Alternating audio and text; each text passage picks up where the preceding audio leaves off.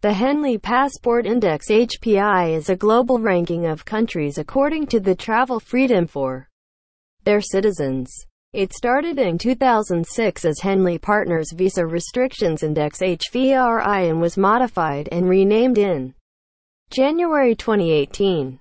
The site provides a ranking of the 199 passports of the world according to the number of countries their holders can travel to visa-free. The number of countries that a specific passport can access becomes its visa-free score.